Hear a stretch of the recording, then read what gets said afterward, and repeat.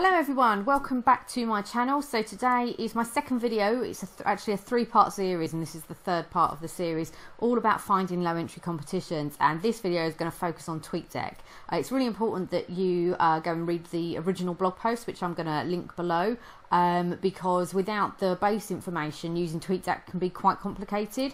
But if you understand the base information, then using TweetDeck is a breeze. A lot of people find TweetDeck quite difficult um, because they're worried about how much is on there. Oh, look. Okay, so let's get ourselves logged in.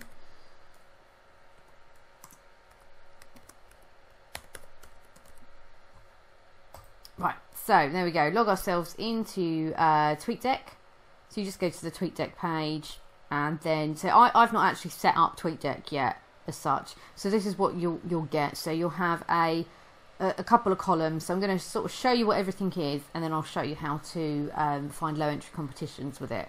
So your first thing to do is uh, you'll have a, a home home column here in column one. You'll then have a notifications column. You'll have your messages column, and then you'll have an activity column. You don't really need any of these, um, but we'll leave them here, and I'm just going to sort of show you how to move things around. So um, if very quickly you'll see there's a tiny little number. So one two three four. If you want to quickly switch to a column just press the corresponding number on your um, on your keyboard. Okay? Oh it is only moving across but only slightly on mine. Uh, and it will highlight the, the, the column that you want if you want to move where your columns are simply move over to the left hand toolbar and you can just drag and drop so very simple if I put the home one there, the home one then moves over there. So this is just for organising how you want things to be displayed. You can have an infinite number. Infinite? Infinite. Maybe there is an upper limit, but I haven't discovered it yet. Um, so these are the columns we've already got. Uh, this is an add column, which we're going to get to in a minute. This is to expand. So if you're not sure what these little icons mean, you can expand and you can see what each of these icons do accounts. So if you have got an additional accounts, I've got uh, this is sort of my demo, demo account. I've also got my regular everyday uh, Glam and Geeky uh, Twitter account, and then I've also got a separate account for my uh, accessible gaming channel. Um, so if you want to switch, but I just use this on uh, my Glam and Geeky account. And you also got settings, so you can have keyboard shortcuts. There's even search tips, that sort of things. And if you ever want to log out, you can do that there. So I'm actually, you can tweet directly from here. You can do a lot of stuff from TweetDeck. So we're going to collapse that. And what we're going to do is we are going to add a column. So the first thing we're going to do is we're going to add a list. Now, if you remember reading my uh, second um, second tutorial in this series, it was all about how to make lists. Now, um, I haven't made many lists on this account, um, but I am already I've subscribed to Dicoke's um, kids list and I've already got a holiday list, although it's quite a basic one. But depending on how all of the lists that you have will basically be displayed here. So I'm going to add the kids list and I'm also going to add, oh, it won't let me do both of them. Okay, so I'll add my holidays lists, add column, and then I'm going to click on the kids list and I'm going to add column. Okay, so I think that's done Let's go back here. So there we go. Our TweetDeck is now updated. So now we've got all those things that we had originally, but we also have our holidays list and our kids list. Now you might be thinking, oh, well, I can view my list whenever I want. I can view my list on on Twitter normally. You can, but you can't filter the search. So what we're going to do now is I'm going to show you how to filter a search. So you, these little bars here, if you click on them, you've got a huge amount of uh, options, but what you're really interested in is going to content. Now, this is where you can choose what you want displayed. So you can either have all tweets, you can just ask for tweets with images. We're going to go for all tweets. We are going to exclude retweets because we don't really need any retweets in there. We just want what's directly from um, the people that we've got in the list. Now, enter words to match. Okay, so let's say we only want to see tweets that contain the word win. So let's type win and hit the return key. We can then click here. There we go. So this has now been filtered. So why has it not come up with the word win?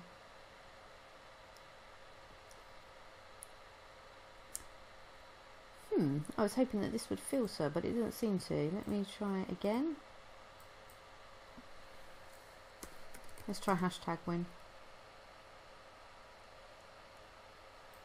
Okay, hashtag win was better.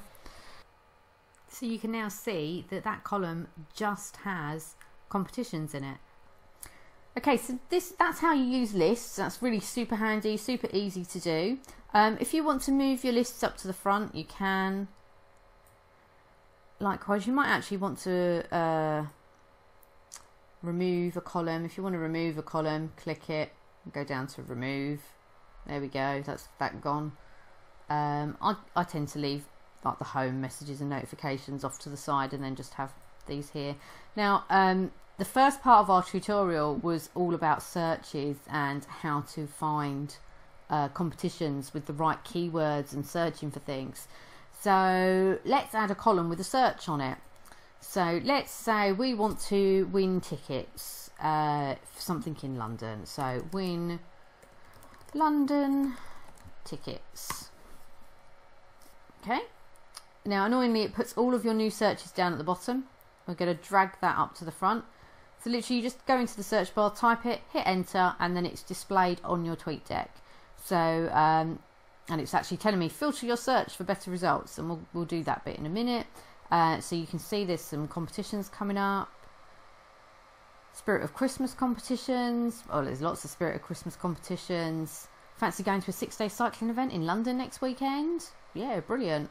Uh, style tickets to Stylist Live. So basically, anything that you can do a Twitter search for, you can search, in here and set up your own column. So you, you might have a particular prize that you're after. Um, so you might want to, you might try and be trying to win Peppa Pig. Anything. Again, really annoying that it puts it there. I'm going to drag that up to the front. There we go. Um, and I can see here now, a lot of these, now you notice here, this is really annoying. So these are lots of people tweeting from um, blogs, automatic blog posts. Now you could click on that and then go and, uh, you know, it's great because you can then go and enter the competition yourself. But um, you might think, oh God, these keep displaying and I don't want them there. Oh, I actually want to enter that one. That's right around the corner from me. Oh, must come back to that. So, uh, say for example, what was that account? So they were from It's a Family blog or my first cinema experience. So, um, location, content. There we go. Okay, again, this is a little bit more complicated this time. You can show all tweets, you can search tweets with images.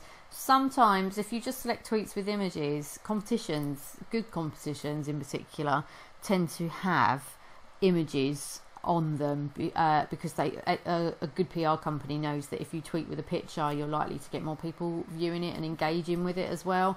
So sometimes if you've got like just loads of um, results coming up and you want to narrow it down to find competitions, you can just select tweets with images. Um, you can again you can exclude words. You can select a, the date range that you want it in. So you might get you know you shouldn't get loads of really old tweets because you're only going to be getting tweets uh, in chronological order by the most recent. You can get rid of certain languages. Again you can exclude retweets um, anything really. And location. So location you can actually so this is really handy. Say you specifically wanted tickets. So again the london one. We didn't actually need to type london up there. We could have actually clicked here and then chosen a radius that's quite a big radius, isn't it? And then it will just show you all the tweets within that radius. There's not that many there because uh, these are people that are registered as being in London. But uh, Peppa Pig isn't really a thing to do. But if you're looking for a local comp, it's a great way of um, narrowing things down a little bit. Um, you can ask for tweets that have got so many retweets, likes, replies, etc. Um, but yeah, it's super simple, easy to do. I'm going to just try and find you so I'm actually going to say you want to overwrite a column. So instead of having to um, click and remove it, or you can clear clear all those tweets. Let's type something new in there. So let's say um, let's say you want to find all the competitions that are closing at midnight tonight, or at least have been tweeted as closing at midnight tonight. Now you're going to get some American ones with this. I've just got used to knowing who's American and who isn't. Unfortunately, with the um, area one, you can't just select everyone in the UK, which is quite annoying.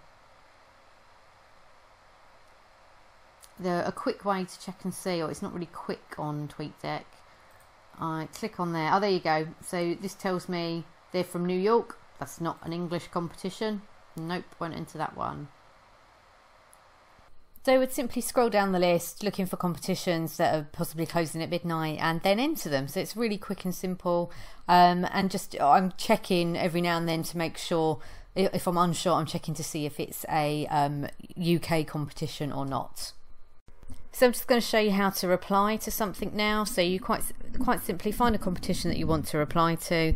Uh, you just hit the little bubble icon, very much the same as on normal Twitter, and you can actually repeat, uh, reply directly. Uh, so you would type your reply into this box here, and then press the uh, the blue tweet button. You can't add pictures, unfortunately. If you need to add a picture uh, to a competition, you have to click directly on the name of the uh, the Twitter account, go onto their Twitter find the competition and then add a photo that way. Uh, so you might have to pop into normal Twitter every now and then just to get that um, working properly.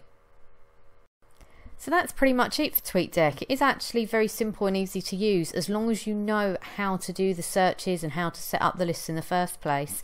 It's a really powerful tool, a, a really good way of filtering lots of information very quickly. And I maybe spend uh, I don't do it every evening, but um, once an evening I might sit down, have a quick half an hour, and flick through a couple of TweetDeck columns. When you log out of TweetDeck, that information will, and you log back in, that information is still there. You don't need to set it up each time. It's really important though, if you haven't already, go and read the first and second blog post. There's also a video for the second blog post about how to master searches as well as how to set up Twitter lists. If you've got any other questions, just comment below or pop over to the Glam and Geeky Mum blog. And good luck. I hope you find loads of low entry competitions.